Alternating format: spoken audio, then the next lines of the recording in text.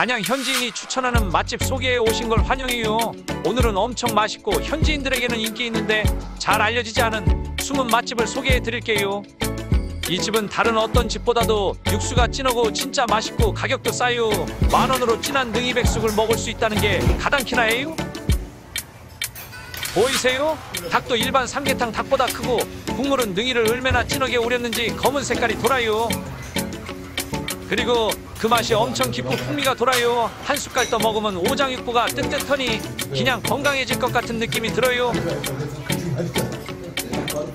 능이버섯이랑 각종 약재, 국물이 고기에도 깊게 스며들어서 고기도 진한 색깔이 나는데요.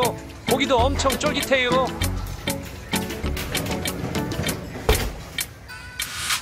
이거 뭐 보약이 따로 없어요. 생각해봐요. 고기는 쫄깃쫄깃 맛이지. 육수는 그 깊은 맛이 죽이지. 세상에 단돈 만 원으로 어떻게 이런 걸 먹을 수 있대요?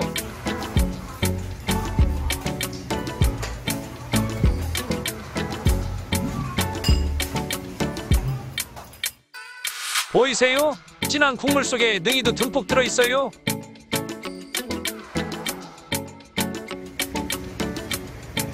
한 가지 단점은 너무 맛있다 보니까 서로 얘기도 안 하고 맛있다 맛있다 하면서 먹는 데만 빠져든다는 거예요. 그리고 고기 먹으면서 국물도 자꾸 떠먹게 돼서 나중에는 고기랑 국물을 싹 비우게 돼 있어요. 닭도 싫어고 국물도 많은데 다 먹을 수 있을까 싶지만 먹다 보면 그만 먹을 수가 없는 묘한 게 있어요.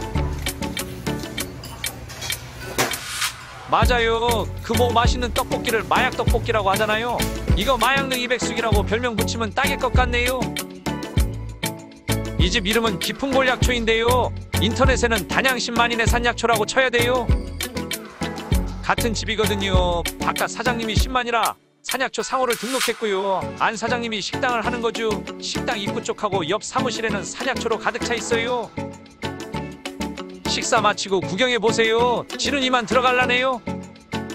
오신 김에 좋아요, 구독 눌러주시면 복 받을 거예요. 틀림없어요. 모든 분 행복하세요.